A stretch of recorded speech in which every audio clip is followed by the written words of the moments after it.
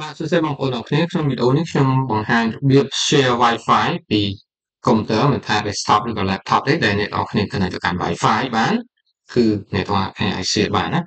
គោលថាករណីមួយនេះទូរស័ព្ទរបស់ខ្ញុំអាច connect ទៅកាន់ network មួយនឹងបានទេណាអញ្ចឹងអឺវាដោយសារវាបញ្ហា certificate បញ្ហា AUI វាអត់ support ចឹងទៅណាអញ្ចឹងតែខ្ញុំអាច share បានណា share ពីកុំព្យូទ័រទៅខ្ញុំកំពុង connect នេះ share មកកាន់ទូរស័ព្ទនេះបានឬក៏ពេលខ្លះ យើងទៅកាន់កន្លែងមួយហើយយើងសុំ password Wi-Fi គេអឺគេពិបាកនឹងឲ្យឧទាហរណ៍ឲ្យទៅគេពិបាកដូរឬក៏គេខ្លាចយើងនេះអញ្ចឹងដល់ពេលហ្នឹងអឺយើងអាចឲ្យគេគ្រាន់តែ share នៅពីកុំព្យូទ័រគេមកគឺបានតែដល់ណាអញ្ចឹងរបៀបការ share គឺនៅលើ Windows 10 11គឺធ្វើបានដូចគ្នាហើយខ្ញុំនឹងបង្ហាញនៅពេលដែលខ្ញុំ record នេះណាតែនេះអញ្ចឹងឥឡូវខ្ញុំ connect ទៅកាន់ Wi-Fi នឹងហើយ ឥឡូវខ្ញុំចង់ធ្វើការ share ខ្ញុំគ្រាន់ click mobile hotspot មកតែបើអ្នកនរគ្នាអត់ឃើញអ្នកនរគ្នា click អាសញ្ញាព្រួយនេះសិនណាសញ្ញានេះ edit ប៊ិចនេះណា edit មកហើយ click add មកណារួមមើលអាមុខងារនៅកន្លែងនេះណាអញ្ចឹងបើនេះវាវានឹងមានហើយអញ្ចឹងឧទាហរណ៍នេះចង់បន្ថែមអីបន្ថែមមកចុះណាបន្ថែមណាណាហើយដានមកអញ្ចឹងបន្ថែម mobile hotspot ឬអីតាមណាអញ្ចឹងអ្នកនរគ្នា click mobile hotspot នៅលើទូរស័ព្ទមកវាចាប់ផ្ដើមអស់នៅលើនេះជាវាចាប់ផ្ដើមនេះអញ្ចឹងទៅ password ទៅអីគេវាដាក់ឈ្មោះម៉ាស៊ីនខ្ញុំហើយហើយអាច connect បានទូរស័ព្ទណាអូខេអញ្ចឹងអ្នកនរគ្នា click មកហើយនេះ turn on នេះណា turn on ហើយអាច click វិញ turn off ឲ្យចឹងទៅណា turn on អ្នកនរគ្នាចុច turn on ឡើងវិញមកណាអញ្ចឹងវាព្យាយាម connect យើងអាច go to setting ដើម្បីមើល password របស់យើងឲ្យវហើយណាអញ្ចឹងនៅកន្លែងនេះគឺ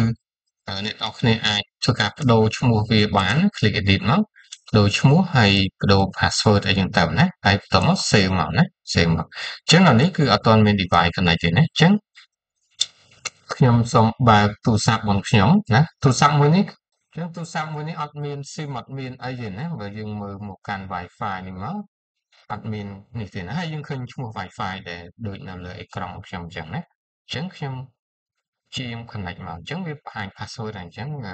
password ដូចនៅលើអេក្រង់ហ្នឹងអឺ grade 9 grade 1ណាអញ្ចឹង connect មកឥឡូវចាប់ផ្ដើម connect នេះ connected ហើយ connected អញ្ចឹងនៅលើអេក្រង់អ្នកនរគ្នាប្រកាសជាឃើញណាឃើញមាន device ថ្មីមួយណា នេះ device ថ្មីមួយ connect មកណា connect អញ្ចឹងយើងអាចធ្វើការ share នឹងបានអញ្ចឹងខ្ញុំអាចអឺចូលទៅកាន់ website ណាមួយឧទាហរណ៍ YouTube ឬក៏ yxql.rean.me ណាចូលណា OK នេះគឺ web ផ្សាយរបស់ខ្ញុំនិយាយទៅទៅ SQL ណាចង់រៀន database អាចចូលមើលបានចូលបាន មើលបាន OK នេះអាចចូលមើលបានមានវីដេអូមានការណែនាំ OK អញ្ចឹងនេះជាវិធីសាស្ត្រដែលអ្នកទាំងអស់គ្នាអាច share ពីទូរស័ព្ទអត់ share ពីអឺ Wi-Fi ពីកុំព្យូទ័រមកកាន់ទូរស័ព្ទបានណាហើយអ្នក person បើចង់បិទអាចបិទនៅកន្លែងនេះបានឬក៏បងប្អូន